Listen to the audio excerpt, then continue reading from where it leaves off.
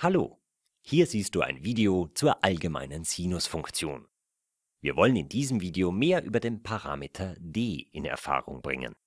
Welche Einwirkung hat er auf die Funktionswerte und den Graphen der Sinusfunktion?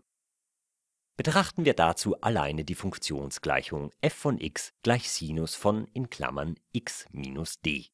Wie verändert sich der Graph der Sinusfunktion, wenn du unterschiedliche Werte für den Parameter d einsetzt?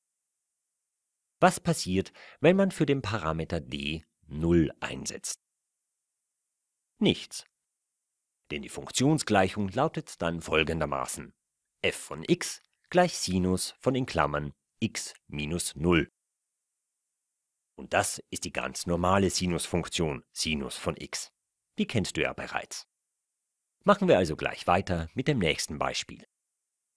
Setzen wir also einen neuen Wert für den Parameter den kompletten Film und viele weitere findest du auf www.sofatutor.com.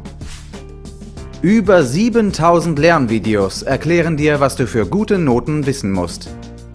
Tests überprüfen dein Wissen nach jedem Video.